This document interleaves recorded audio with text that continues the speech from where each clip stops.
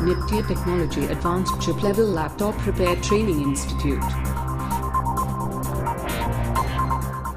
तो हम लोग जो भी कॉन्सेप्ट पढ़ेंगे फ़र्स्ट जनरेशन से ट्वेल्व जनरेशन तक के पढ़ेंगे, उससे पहले वाला नहीं पढ़ेंगे। अब थोड़ा सा हम इसके पिन डिटेल्स आप लोगों को बता दें कि आरटीसी वीसीसी क्या करता है। तो आरटीसी वीसीसी पीसीएच को पावर देता है। किसके माध्यम से? एलडीओ के माध्यम से या सिमो सेल के माध्यम से। है आरटीसी, आरएसटी और एसआरटी आरएसटी इस सिग्नल का उपयोग सिस्टम सेटिंग को क्लियर करने के लिए किया जाता है।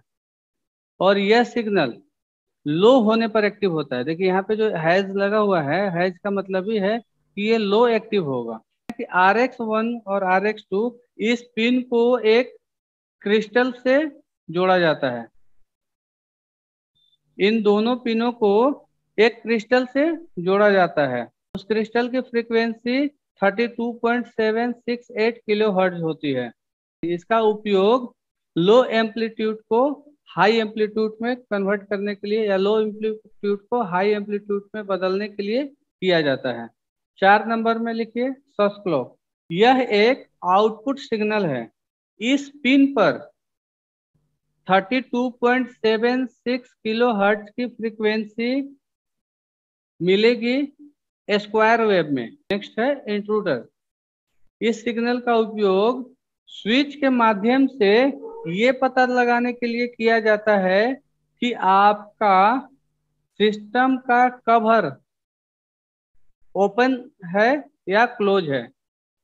कि बहुत सारे ब्रांडेड मदरबोर्ड में जब आप सिस्टम की कवर को हटा देते हैं तो मैसेज आता है या कभी कभी तो ऑन भी नहीं होता। कभी देखें, कभी के पास कभी किसी के पास ऐसा कोई प्रॉब्लम आया है कि जब उसका ढक्कन आप खोल देते हैं तो ऑन ही होना बंद हो जाता है? तो वो इसलिए नहीं होता है कि उसका इंट्रूडर जो है इंट्रूडर उस समय लो हो जाती है। कवर हटाते हैं तो वहाँ पे एक पुश स्विच लगा होता है। वो पुश स्विच एक्टिव हो जाता है, जिसकी वजह से इसकी आरटीसी सेक्शन के आरटीसी वेल में एक रिक्वायरमेंट इसकी मिसिंग हो जाती है, जिसके वजह से वो सिस्टम ऑन नहीं होगा। मतलब फ्रीक्वेंसी भी नहीं बनेगी उसके अंदर। तो इसके बारे में जानना ज़रूरी है कि इंट्रूडर इंट्रूडर के ऊपर हमेशा हाई लॉजिक होना चाहिए। अगर इंट्रूडर को लो लॉजिक दे दिए तो इंट्रूडर को ये समझ में आएगा कि इसका बॉक्स ओपन है, खतरा है, अभी ऑन नहीं होना चाहिए। पांचवा है इंटरनल वोल्टेज रेगुलेटर इनेबल यह सिग्नल आरटीसी वेल का एक पार्टी सिग्नल को आरटीसी, वीसीसी से जोड़ा जाता है और इसको हाई रखा जाता है। Internal voltage regulator enable. तो ये सिग्नल आरटीसी वेल का एक पार्ट है, जो पीसीएच के इंटरनल वोल्टेज रेगुलेटर को इनेबल करने के लिए ये इनपुट सप्लाई है। इसके आने के बाद ही पीसीएच का अंदर जो इंटरनल वोल्टेज रेगुलेटर है, वो एक्टिव होता है।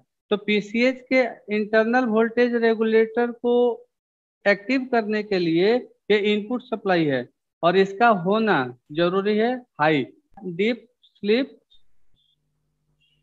वेल का वी आर एम इनेबल तो ये क्या है कि ये भी एक डीप स्लिप वेल का रिक्वायरमेंट है और ये डीप स्लिप वेल को पावर दिया जाता है इसके माध्यम से। मतलब आरटीसी बीसीसी और deep sleep well V R M enable ये दोनों पावर है। इसके माध्यम से पावर दिया जाता है।